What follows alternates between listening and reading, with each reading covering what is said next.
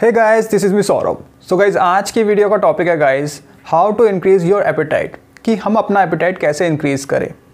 Guys जिसको wait increase करना है या मसल मास इंक्रीज़ करना है, उसको भूख ही नहीं लगेगी तो वो कैसे इंक्रीज़ कर पाएगा। तो गाइज़ एपेटाइट इंक्रीज़ करना भी बहुत ही इंपॉर्टेंट है, खासकर उन लोगों के लिए जिनको भूख बिल्कुल नहीं लगती। तो गाइज़ आज की वीडियो के अंदर मैं आपसे डिस्कस करने वाला हूँ ऐसे टिप्स और ऐसे सॉल्यूशंस जो कि आपको हेल्प कर सकते हैं आपका एपेटाइट इंक्रीज़ करने में।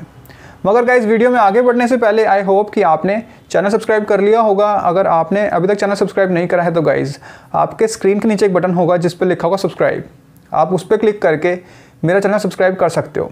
एंड गाइज़ अगर आपको मेरे से एक अफोर्डेबल रेट में पर्सनल ट्रेनिंग लेनी हो तो आप मुझे रीच कर सकते हो Saurabh Vats personal training at the rate gmail dot com पर गाइज़ सारे लिंक्स मैंने डिस्क्रिप्शन बॉक्स में डाल रखे हैं।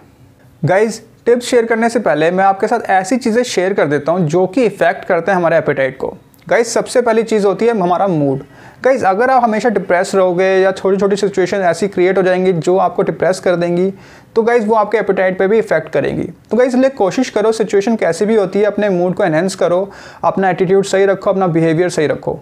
गाइज़ सेकंड थिंग जो कि एपेटाइट को इफ़ेक्ट करती है गाइज़ वो है आपके हार्मोन फ्लक्चुएशंस गाइज़ अगर आप ज़्यादा स्ट्रेस लोगे, ज़्यादा एंगजाइटी में रहोगे तो गाइज़ आपकी बॉडी में हार्मोन फ्लक्चुएट होंगे, जिससे गाइज़ वो आपके एपेटाइट पे इफ़ेक्ट कर सकते हैं। तो गाइज़ इसलिए अगेन कोशिश करो कि काम माइंड रह के काम करो स्ट्रेस कभी मत लो डिप्रेस कभी मत रहो एंगजाइटी में कभी मत रहो।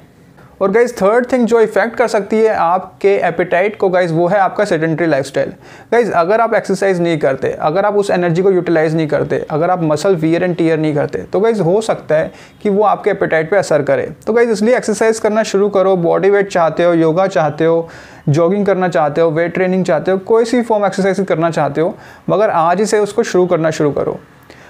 बीस मिनट कर सकते हो, एक घंटा कर सकते हो, वो मैटर नहीं करता, मगर एक्सरसाइज करना बहुत ही इंपॉर्टेंट है, अगर आप चाहते हो कि आपका एपेटाइट इंक्रीज़ हो सके। तो गाइज़ मैं होप करूँगा कि आप पहले इन तीन चीज़ों को करेक्ट कर लोगे, उसके बाद ही आप टिप्स शुरू करोगे, तभी टिप्स आपके लिए काम आएँगे। गाइज़ टिप नंबर वन जो है, जो कि आपको हेल्प कर सकता है आपके एपेटाइट को इंक्रीज़ करने में गाइज़ वो है इंक्रीज़ योर फ्रिक्वेंसी गाइज़ आपको अपनी मील्स की फ्रिक्वेंसी इंक्रीज़ करनी है। गाइज़ अगर आप अभी तीन मील कंज्यूम करते हो तो आपको उसको छः मील में कन्वर्ट कर देना है। मतलब कि मान लो, अभी आप डिनर लंच ब्रेकफास्ट कंज्यूम करते हो तो आपको क्या करना है? आपको उसमें स्नैक ऐड करना है ड्रिंक ऐड करनी है, और बिफोर बेड कोई मील ऐड कर देनी है। तो इससे क्या होगा? आपका मेटाबॉलिक रेट इंक्रीज होगा, जिससे आपकी बॉडी कैलरीज बर्न कर पाएगी, और जिससे आपको भूख लगेगी धीरे धीरे गाइज़ सबसे पहली चीज़ ये समझ लो ये सारे टिप्स जो हैं, वो एक दिन में रिजल्ट्स नहीं दिखाएँगे। हो सकता है चार हफ़्ते लगे, हो सकता है आठ हफ़्ते लगे, मगर कंसिस्टेंट रह के अगर फॉलो करोगे तो ये सारे टिप्स आपको हेल्प कर सकते हैं। और ये सारे टिप्स नेचुरल हैं, इनमें कोई भी साइड इफ़ेक्ट्स आपको क्रिएट नहीं होगा, ना ही आपकी बॉडी पे कोई गलत हार्मफुल इफेक्ट्स आएँगे। गाइस टिप नंबर टू है set an alarm alarm set करो। अब गाइस जिनको भूख ही नहीं लगेगी तो वो क्या करते हैं, वो काफ़ी टाइम लंबे टाइम तक भूखे चले जाते हैं। क्योंकि उनको भूख ही नहीं लगती। तो गाइज़ कोशिश करो, अपने मील्स के लिए एक अलार्म सेट करो। मान लो आप ब्रेकफास्ट अगर एट ए एम पे खाते हो तो कोशिश करो, उसके बाद दूसरी मील आप 10 ए एम पे लो। उसके लिए अलार्म सेट करो। चाहे आपको भूख लगे ना लगे, मगर आप उसके साथ पंचुअल रहोगे डिसिप्लिन रहोगे। उससे क्या होगा, अगर आप धीरे धीरे मील्स कंज्यूम करोगे अलार्म सेट करके तो आपकी बॉडी को आदत पड़ेगी, जिससे आपकी भूख धीरे धीरे खुलेगी। तो गाइज़ इसलिए दूसरी चीज़ जो आप कर सकते हो, वो है अलार्म सेट करो। हर मील के लिए अलार्म सेट करो। अपनी बॉडी पर डिपेंड मत रहो। अपने आप को एक कॉन्शियसली डिसीज़न लो, जिससे आप अपने रिज़ल्ट अचीव कर पाओ। गाइज़ टिप नंबर थ्री है सप्लीमेंट्स सप्लीमेंट से मेरा मतलब है mass gainers guys mass gainers उन लोगों के लिए काफ़ी इंपॉर्टेंट है जिनको भूख बिल्कुल नहीं लगती. क्योंकि मास गेनर एक तो पाउडर फॉर्म के अंदर होता है, वो किसी भी चीज़ के अंदर मिक्स किया जा सकता है. चाहे पानी, चाहे मिल्क चाहे आपके फ़ूड प्रोडक्ट्स वो किसी भी चीज़ के अंदर ऐड हो सकता है और उनको लेना बड़ा ही आसान है और वो एक एडिशनल कैलरीज होती हैं. तो गाइज़ इसलिए मास गेनर्स को ऐड करना आपके लिए बहुत इंपॉर्टेंट है अगर आप चाहते हो अपनी कैलरीज को आसानी से इंक्रीज़ करना. और गाइज़ जिनको भूख बिल्कुल नहीं लगती, उनके लिए फ़ूड प्रोडक्ट्स खाना बहुत मुश्किल होता है। सॉलिड फ़ूड प्रोडक्ट्स खाना बहुत मुश्किल होता है। तो गाइज़ इसलिए मैं आपको सजेस्ट करूँगा लिक्विड फूड्स आइटम को चूज़ करो। जैसे मास गेनर्स या फिर लिक्विड शेक्स को चूज़ करो ज़्यादा से ज़्यादा जिसका आपको आसानी से कैलरीज मिल सके।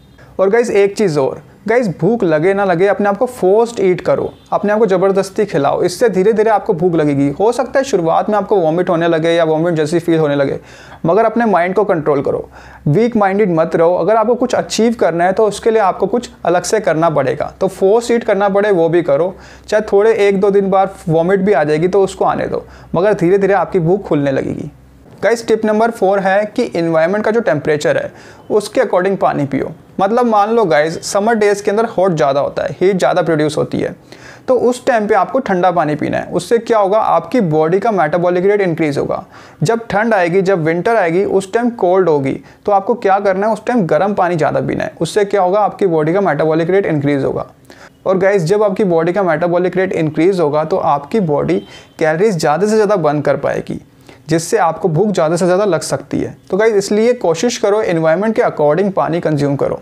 गाइज़ लास्ट टिप है कि आपको कभी भी खाना खाने के साथ पानी नहीं पीना। अगर आप खाना खाने के साथ पानी पियोगे, इससे सबसे पहली चीज़ आपके डाइजेशन पे इफ़ेक्ट पड़ेगा। और आपका पेट थोड़ा बहुत पानी से भर जाएगा, जिससे आपको भूख ज़्यादा नहीं लगेगी, जिससे आप कम कैलरीज कम फ़ूड कंज्यूम कर पाओगे। तो गाइज़ इसलिए कोशिश करो, हमेशा खाना खाने से एक घंटा पहले पानी पी सकते हो और खाना खाने के एक घंटा बाद पानी पियो, जिससे आपकी बॉडी आसानी से कैलरीज कंज्यूम कर पाए और जिससे आपकी बॉडी आसानी से कैलरीज को डाइजेस्ट भी करा पाए। तो गाइज़ ये काफ़ी इंपॉर्टेंट टिप है। तो गाइज़ ये कुछ पाँच टिप्स थे और मैंने आपसे सिम्टम्स शेयर करे। आई होप गाइज़ कि आज की वीडियो आपको पसंद आई होगी। And guys see you in the next video and best of luck